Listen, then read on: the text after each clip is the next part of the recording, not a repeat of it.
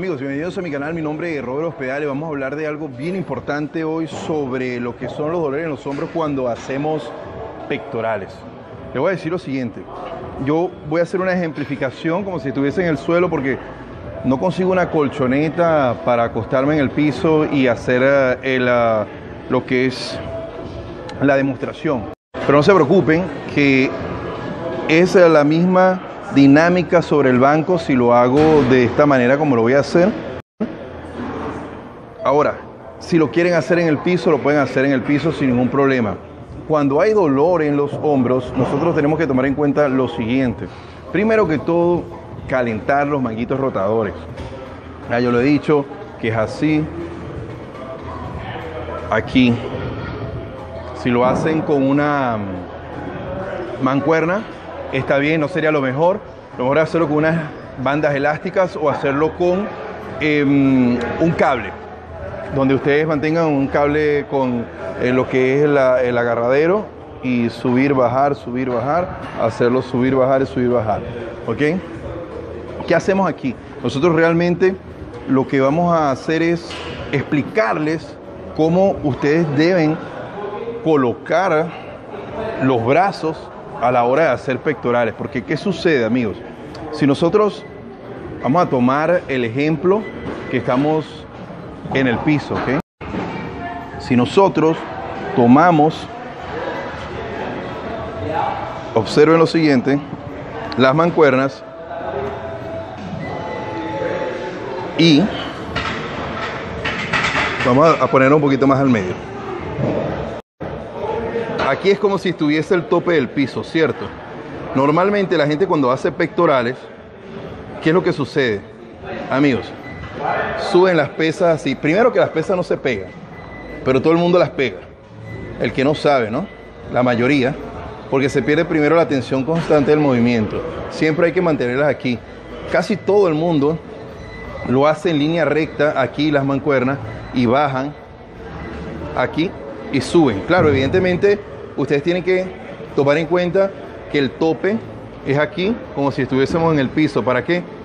Para no darle tanta tensión a los hombros y enfocarnos más en el trabajo de los pectorales. Si ustedes bajan más de este nivel, el trabajo en los hombros va a ser más y entonces ustedes van a tener ese dolor constante que ya tienen desde un tiempo para acá.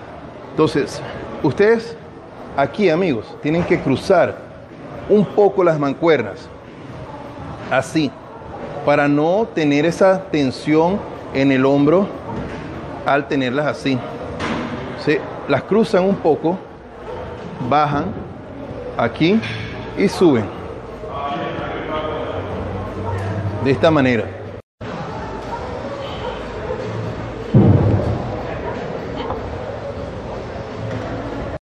Eso es lo que tienen que hacer ustedes.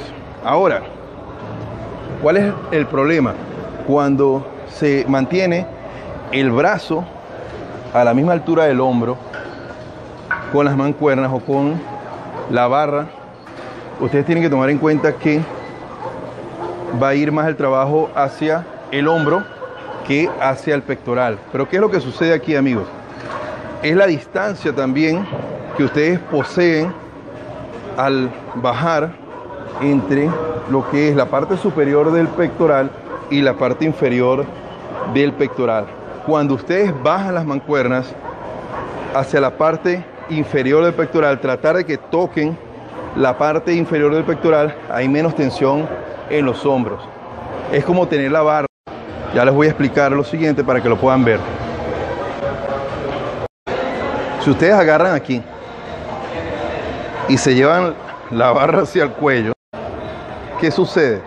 La tensión va a lo que son los hombros y miren, aquí observen todo lo que tengo que bajar en lo que es la posición del hombro, en aquí lo que es la posición de la barra.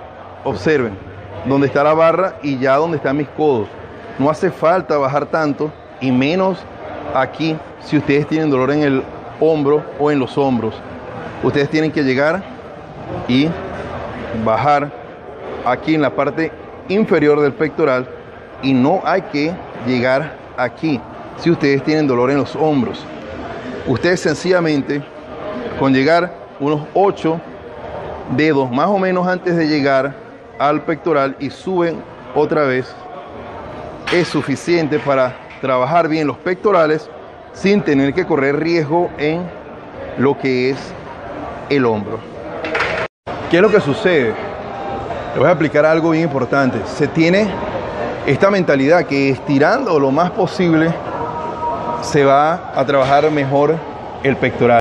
Y es todo lo contrario, estirando más el pectoral, ustedes tienen riesgo de lesionarse más rápido los hombros, los ligamentos, los tendones y la articulación.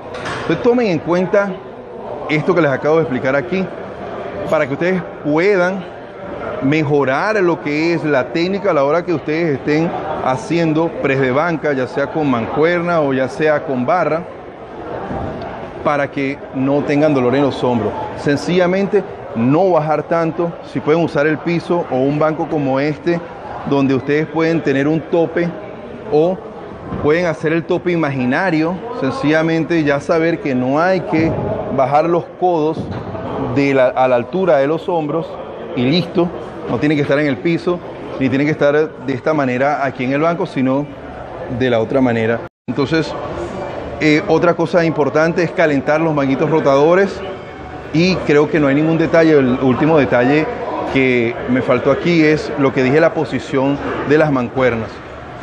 Ponerlas un poquito de manera diagonal, solo un poco cruzar el ángulo. Aquí se le da un pequeño giro y no lo puedo hacer con esta mancuerna en el aire porque está demasiado pesada para hacer ello.